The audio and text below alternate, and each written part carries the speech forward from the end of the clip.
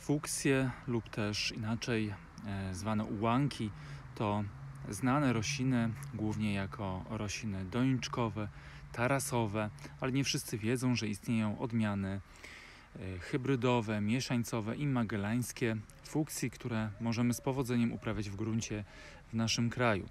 Ja, jak wiecie z mojego e, profilu, fuksjami zajmuję się już od bardzo dawna, a dziś przedstawię Wam te odmiany fuksji mrozoodpornych, które możecie mm, podziwiać ze względu na, na ich spektakularne e, kwiaty i bardzo obfite kwitnienie.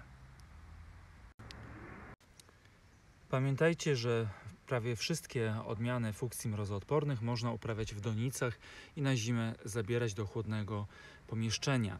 Jeśli boimy się zostawić taką fuksję w ogrodzie, albo po prostu jeśli u nas w ogrodzie mikroklimat jest niesprzyjający do uprawy fuksji. A ta tutaj spektakularna odmiana to Ewa Boek.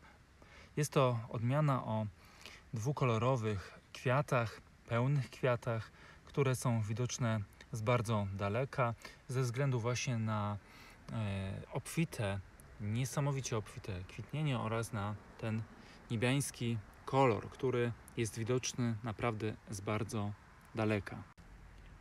Ta odmiana rośnie u mnie w gruncie już od 4 lat. No i jak widzicie, każdego roku od korzenia odbija i tworzy właśnie takie niezwykłe, nietuzinkowe kwiatostany. Jest to odmiana bardziej taka zwisła, która rośnie w formie zwisłej, zatem musi być ona sadzona na podwyższeniu albo po prostu w donicach i zabierana na zimę. No tutaj rośnie właśnie przy takim murku, więc ona jest widoczna. Te kwiaty są również bardzo widoczne. Celia Smedley to jedna z najznamienitszych odmian, którą posiadam u siebie w ogrodzie.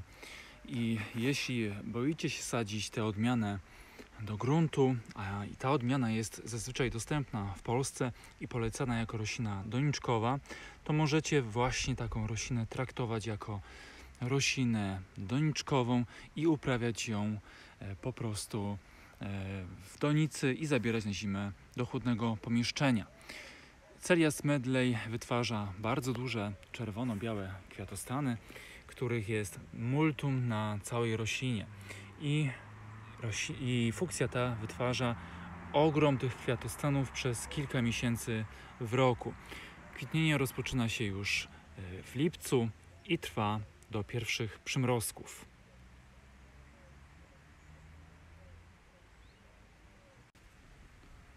Wszystkie fuksje, które przedstawiam dzisiaj w tym materiale, kwitną u mnie już miesiąc.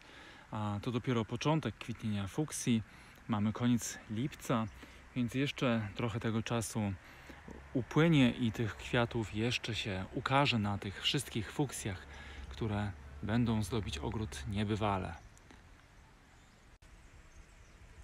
Fuksja o dwubarwnych liściach, one są mm, tak jakby oszronione, a część liści jest biało-zielona, tylko że ta zieleń jest taka, e, bym powiedział, metaliczna. E, tym bardziej ta zieleń przepięknie kontrastuje właśnie z, to, z, tym ogromem kwiatów, które ukazują się na roślinie już począwszy od lipca. One są z pewnością dużo drobniejsze niż na odmianie Celia Smedley, ale jest ich moim zdaniem jeszcze więcej niż na poprzedniej e, odmianie. Zobaczcie sami. I tak wygląda kwiat w pełni rozwinięty. O, deszcz popadał, one są jeszcze mokre. Zobaczcie, a fuksja ta nawet w pąkach, mm, kwiaty jej wyglądają niebywale.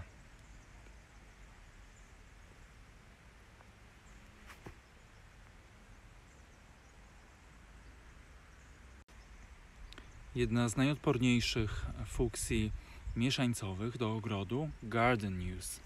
Odmiana o pełnych kwiatach, spektakularnych, gigantycznych, kolorze biało-różowo-burgundowym, o ile dobrze nazywam te kolory. E, tych kwiatów na tej odmianie jest zazwyczaj bardzo dużo. Są one głównie na końca tych, końcach pędów, no i ukazują się już od lipca Kwitnienie trwa jak przy wszystkich praktycznie fuksjach, aż do pierwszych przymrozków.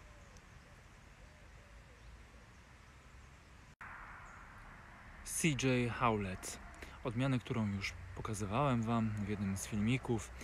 E, Ma naprawdę niezwykłe te kwiatostany i kwitnie bardzo obficie, jako jedna z pierwszych fuksji, która u mnie zazwyczaj zakwita, bo już nawet pod koniec czerwca, o ile oczywiście aura dopisuje w danym roku. I te kwiaty są również bardzo duże i fuksja kwitnie bardzo, bardzo długo. Prawdziwa weteranka i prawdziwa twardzierka wśród fuksji mrozoodpornych jest to odmiana Rick Cartoni, która tworzy bardzo dro- drobne kwiatki, ale jest ich naprawdę bardzo, bardzo dużo na krzewie. Odmiana ta dorasta do około 150-170 cm w naszej strefie klimatycznej.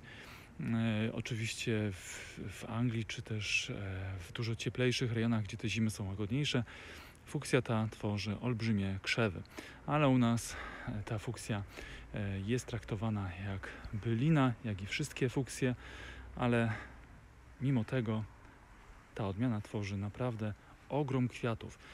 Ona dopiero w tym momencie jeszcze jest w rozkwicie, ale gdy pokażę Wam ją e, później, zobaczycie jak dużo jest tych kwiatów na tej odmianie. Bernicer Hardy.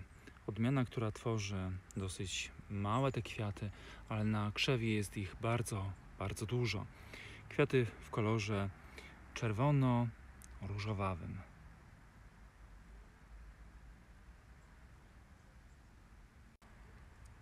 Crinkly Bottom. Odmiana, która teoretycznie nadaje się do uprawy pojemnikowej. U mnie już żyje w gruncie trzeci rok. Kwiaty są gigantyczne. Jedne z największych kwiatów u fuksji, które posiadam u siebie w ogrodzie.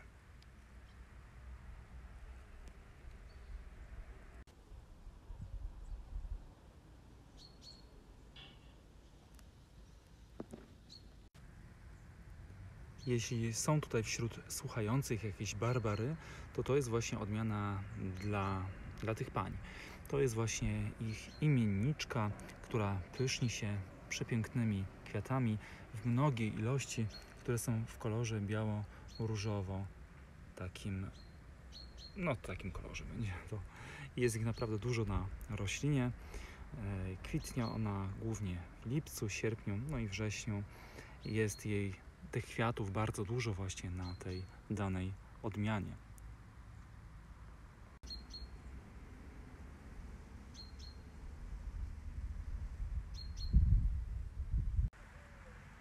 Tranquility przywodzi na myśl w ogrodzie taką lekkość i swobodę.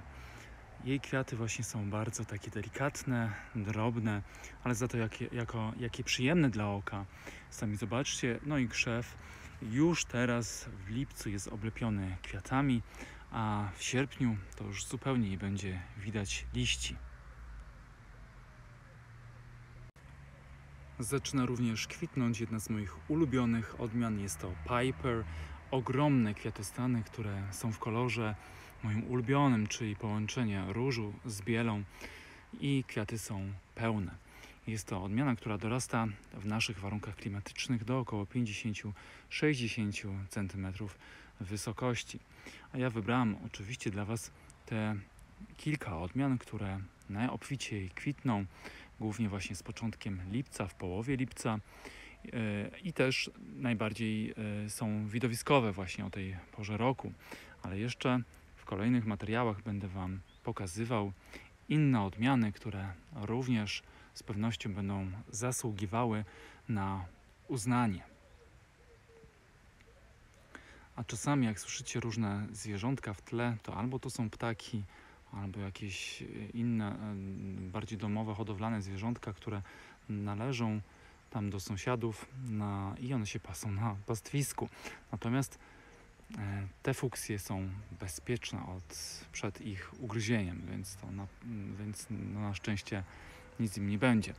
A jeśli macie ochotę, to zapraszam oczywiście również na Facebooka Ogrodowy Zapał i dziękuję jak zawsze za obecność.